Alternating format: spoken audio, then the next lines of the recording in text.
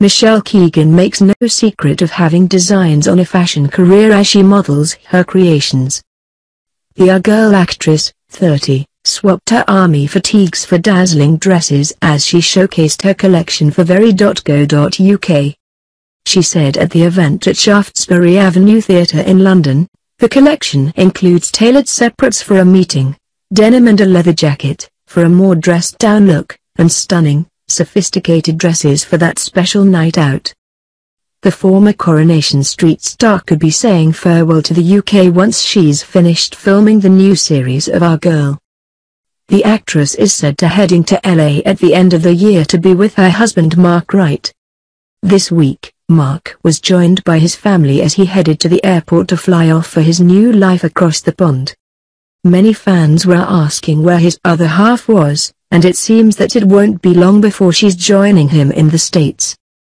Michelle, 30, has reportedly cleared her diary after December to she can join Mark in the US for a well-deserved break. A source close to the couple told The Sun, once Michelle has finished filming Our Girl at Christmas she's flying out to America to join Mark. She hasn't committed to any big projects after that to make sure she can stay for as long as she likes. She isn't moving the per se but they will split their time equally between here and LA and she will jet back and forth as much as possible.